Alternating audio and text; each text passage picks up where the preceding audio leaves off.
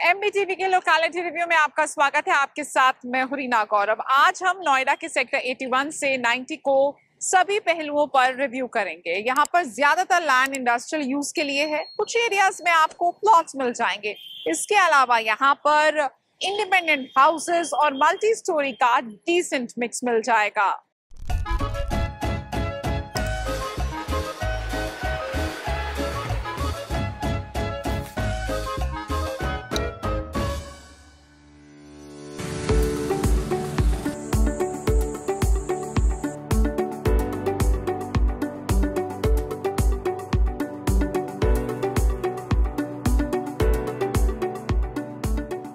नोएडा एक industrial township के तौर पे प्लान किया गया था।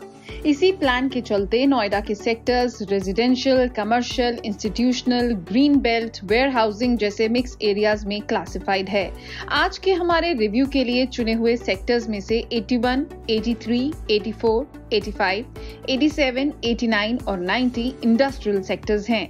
सेक्टर 82 रेजिडेंशियल है सेक्टर 86 में रेजिडेंशियल एरिया के अलावा दो गाँव शामिल हैं और काफ़ी लैंड पार्सल ग्रीन बेल्ट हैं।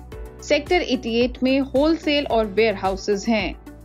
इन सेक्टर्स में कुछ गाँव भी पड़ते हैं। हमारा खास फोकस रेजिडेंशियल सेक्टर 82 पर रहेगा, जहाँ से हम आपको सभी सोशल इंफ्रास्ट्रक्चर के बारे में जानकारी देंगे। सेक्टर 82 में ज़्यादातर मल्टी स्टोरी अपार्टमेंट्स और सेक्टर 86 में रेजिडेंशियल प्लॉट्स मिलेंगे। ये दोनों ही सेक्टर्स मिडिल इनकम ग्रुप को केटर करते हैं। नोएडा, ग्रेटर नोएडा एक्सप्रेसवे और दादरी मेन रोड इन सेक्टर्स की मेजर अप्रोच रोड्स हैं। इसके अलावा कई आर्टीरियल रोड जैसे कि Jeet Ram colony road canal link road संपर्क मार्ग इन सेक्टर्स से होकर गुजरती हैं। नोएडा, ग्रेटर नोएडा एक्सप्रेसवे और Noida, Greater Noida link road इन सेक्टर्स को ग्रेटर नोएडा, दिल्ली और गाजियाबाद से अच्छी कनेक्टिविटी देता है। सेक्टर 81 और सेक्टर 83 का एक्वा लाइन पर अपना मेट्रो स्टेशन है। सात किलोमीटर के रेडियस में दो और मेट्रो स्टेशन हैं एनएसईजेड e और नोएडा सेक्टर 137 मेट्रो स्टेशन। इन मेट्रो स्टेशन से ई रिक्शाज और साइकिल रिक्शाज मिल जाते हैं दूसरे सेक्टर्स में जाने के लिए।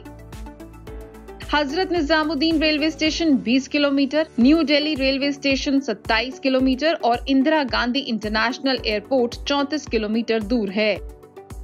सेक्टर 82 के 7 किलोमीटर के रेडियस में 10 स्कूल्स हैं।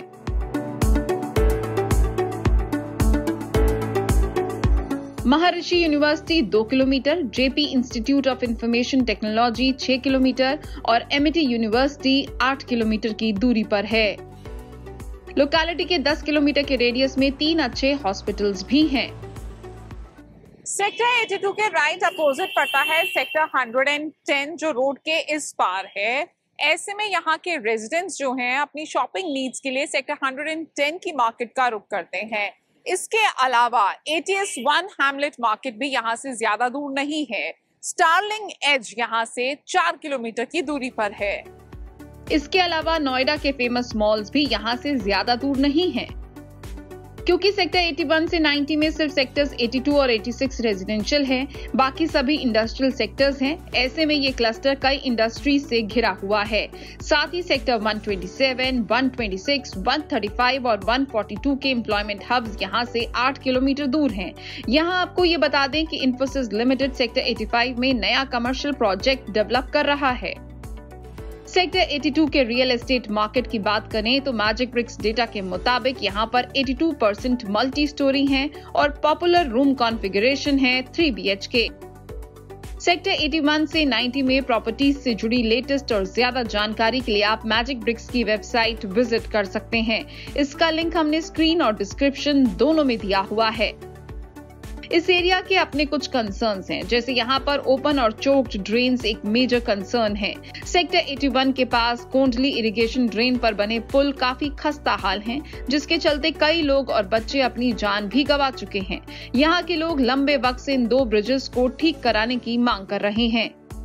साथ ही यहाँ पर सिक्योरिटी भी एक इशू है। रेजिडेंट्स कई बार चेन स्नैचिंग और गाड़ी चोरी की कंप्लेंट्स लिखवा चुके हैं।